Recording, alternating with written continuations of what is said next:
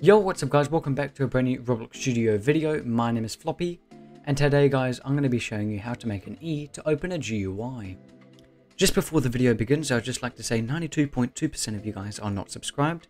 If you want to see more Roblox Studio videos like these, make sure to consider subscribing and turning on the notification bell so you can be the first one to be notified every single time I upload a new video. So for starters, you're going to want to make sure Explorer and Properties are enabled. If Explorer and Properties are not enabled, you want to head up to the top bar here click on View and enable Explore and Properties. Once you've enabled Explore and Properties, you now want to go and make your part, which is going to be holding the proximity prompt. What a proximity prompt is, it basically, when a player is in the range of this part, a E button will show, and when they click that E button, something will happen. For, for this tutorial, we're going to be opening a GUI whenever someone touches that E button. So we want to go over to your part, and you want to rename this to whatever you want, something that you may remember. So for this tutorial, I'm just going to be calling this block, just like that. You can also leave it as part, but it's better if you do change the name. Once you've renamed your part, you then want to click on the plus button and insert a proximity prompt. Now you can adjust this as much as you want, it doesn't really matter. You can change the max, activation distance, basically meaning how far a player can be away to be able to see the E button. For this tutorial, uh, all I'm going to be changing is the hold duration to 1. But other than that, I'm not going to be adjusting anything else. And then what we're going to want to do, we now want to go and make our UI, which we are going to be opening. So we want to head over to our starter GUI. And now you want to insert a screen GUI. And then inside the screen GUI, you insert a frame. I'm just going to be inserting a frame for this tutorial, just because I don't really need to show you on how to do everything else, because it doesn't matter what is in the frame. As long as you've got a frame, it, it'll work. So now that you've inserted a frame inside the screen GUI, now you want to go over here and click on here and now we're going to be making a close button. For this tutorial I'm just going to be using a text button because it doesn't really matter but you can use an image button, it's up to you. Basically this will be now a close button so if someone clicks E, this frame will pop up with the X button and someone click, can click the X button and then the GUI will disappear. So what we're going to want to do, I'm going to just go and customize this to however I like. For this tutorial, I'm just going to change the font and I'm going to change the text to close, just like that. So people can understand, okay, this is where I can close this UI. And feel free to have whatever you want in this UI, it doesn't really matter. But once you've done that, you now want to go over to your screen GUI and we want to close the frame here. Inside your screen GUI, you want to go and insert a local script. Now inside this local script, you want to go down to the description of this video, copy and paste the first part of code that is in the description.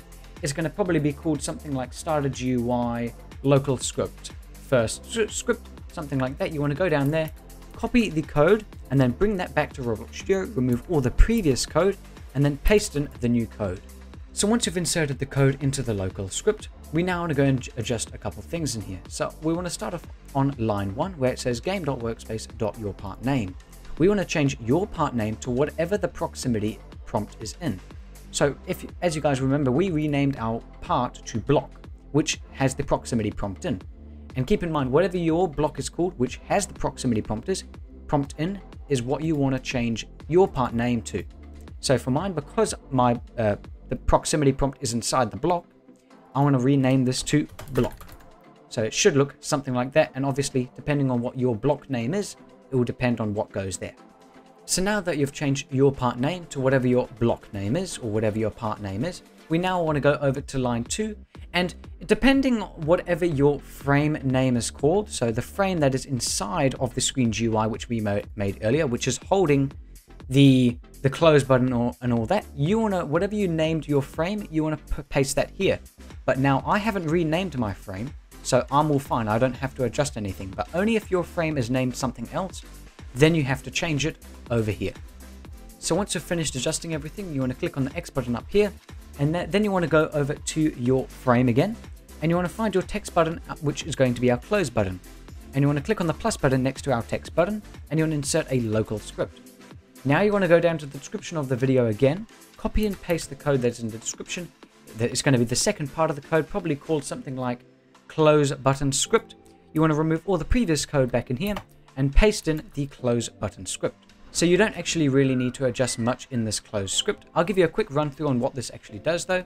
But if the script.parent, if the text button or our close button uh, detects a mouse button click, it'll then make the script, the close button script, dot the parent script.theparent and it sets the vis visibility to false, basically closing our frame UI.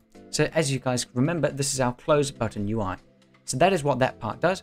And also in our other script over here, what happens here, a proximity prompt. So our local proximity prompt is game.workspace.proximity prompt. So if our proximity prompt is triggered, then it sets the GUI, which our GUI is script.parent.frame, and then it sets the visibility to true. So if a proximity prompt is triggered, then our GUI is set to true. So once you've finished adjusting everything, you want to head up to the top here and click on the X button to close the script. Then you want to head over to your Explorer and find your frame and you want to set the visibility to disabled or just basically untickered so that no UI is showing on your screen. So now that you've set your frame visibility to disabled or unticked, you now want to make sure that your part is anchored and then you want to head up to the top bar here and click on play to go test it out. As you guys can see, we are now in the base plate and what we will do now, we'll go and hold E and but remember we do have a one second holding duration. So we need to hold it for one second. And then as you guys can see, our UI now pops up and if we click on the close button up here that we made just before, the UI will close and we can also open it up again. Click on close, open it up again and click on close. If you guys wanted to support me to the extra mile, super thanks and being a member on my channel is an option. Super thanks is located just below the video and to become a member, you can click the join button next to the subscribe button located below the video. If you guys are a little bit lost or you don't really know what you're doing, feel free to send me a message on Discord and I'll happily help you out. But anyway guys, I'm going to wrap up the video here. If you did enjoy, I'd appreciate if you do consider subscribing to the channel, turning on the notification bell, and also do consider liking the video, I'd really appreciate it. But anyway, have a lovely rest of your day, and I'll see you guys all in the next video. Peace.